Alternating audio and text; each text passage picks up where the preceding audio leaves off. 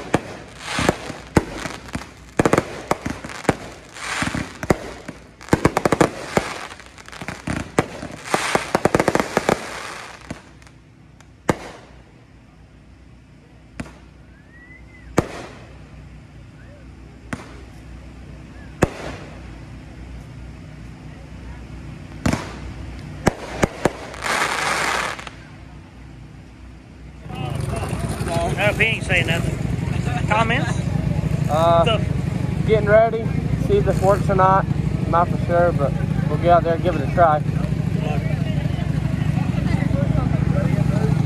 Everyone come to Wheelersburg Raceway and race. It's a great track. Wheelersburg Raceway. How we? Thanks for coming. Yeah.